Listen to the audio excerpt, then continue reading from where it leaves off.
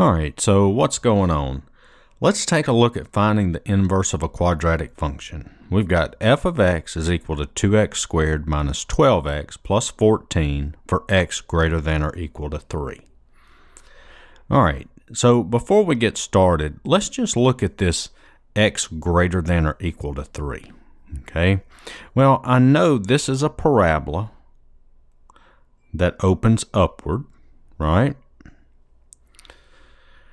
And the vertex, because if you do the minus b over 2a, you'll get the x coordinate of the vertex. The x coordinate of the vertex is 3. I don't care what the y coordinate is, okay? What's important here is the, the x greater than or equal to 3. Well, if you look at this and you draw a horizontal line through that graph, it intersects that graph in more than one spot. And if you remember by the horizontal line test, if a horizontal line intersects a function in more than one spot, that means it's not one-to-one, so that means it doesn't have an inverse. Okay. Well, what this x greater than or equal to 3 does is that says, okay, we're only working with values larger than 3. So we're only working with this part of the graph. So we're not even going to use that part. And you can see once we've gotten rid of this side over here, it's now one-to-one. So what we've done here is we've restricted the domain. Okay, and that's gonna that's gonna be important later on in the problem. All right, so before we get started, the fir first thing we're going to need to do before we find the inverse is we're going to have to turn this into its vertex form. So I'm going to rewrite this f of x is equal to 2x squared minus 12x. I'm going to put that in parentheses and then plus 14. Okay, so you can probably see what I'm fixing to do. I'm going to uh, complete the square. All right. But remember, you can't complete the square if you have a number in front of x squared other than 1. Remember, you got to have a 1 in front of your x squared. So what we're going to do here is we're going to factor out a 2.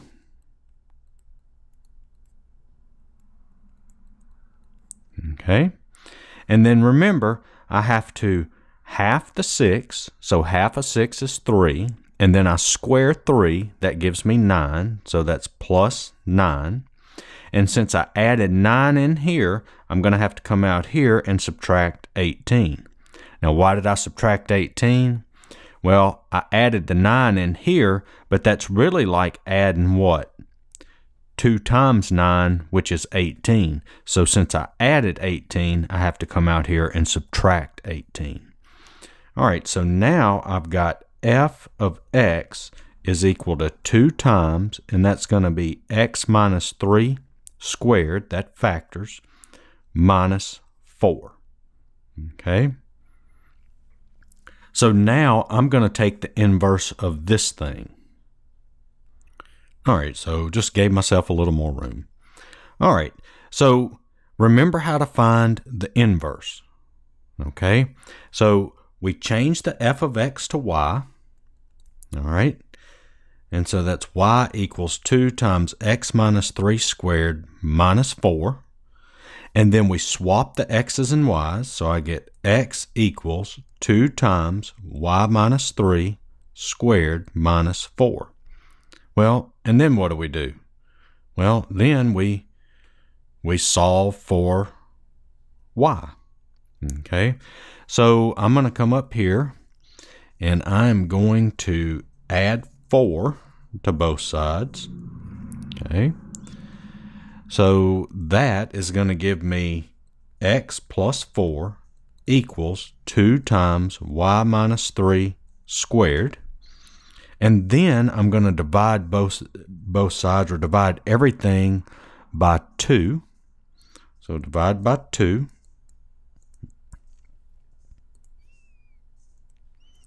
So that's going to give me 1 half x plus 2 equals y minus 3 squared. Okay. And I think I think what I might do this 0.5, I think I'm just going to rewrite 0.5 I'm, I'm this one half. I think I'm going to rewrite one half as 0.5. Not a really, not really a big deal if you do it or not. I'm just, mm, you know, just avoid having the fraction under the radical. I'd rather have the decimal. That's the only reason. All right, so now we got to do what? Square root properties. Take the square root of both sides. So this is the square root of 0.5x plus 2 equals y minus 3. Now, don't forget this part. We did the square root property. Students are always forgetting this. It's plus or minus. Don't forget that. And so then I need to add 3 to both sides. And so that is going to give me 3 plus or minus the square root of 0.5x plus 2 equals y. All right. So now I'm going to take this and split it up into two, two separate functions. So that's y equals 3 plus the square root of 0.5x plus 2 or y equals 3 minus the square root of 0.5x plus 2. All right, so it's one of these. It can't be both of them. Which one's the inverse? See if you can make a guess before I tell you the answer. All right, so my inverse is what? Well, if we go back up here and look at this where we restricted the domain, remember this is the domain of this function here. It's been restricted to be x greater than or equal to 3. Let's write that down down here, greater than or equal to 3, which is the same thing as 3 to infinity, right? So this is the domain of the function. Well, if you remember with inverses, the domain of the function is the range of the inverse. All right? So which one of these has a range of 3 to infinity? Well, hopefully you can see that it's this one. Okay?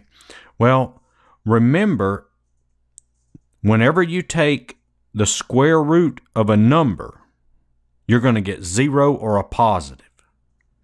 And if you take 3 plus positive, that's going to give you values larger than 3. So there's your 3 to infinity. So we know it's this one. Okay? But if you look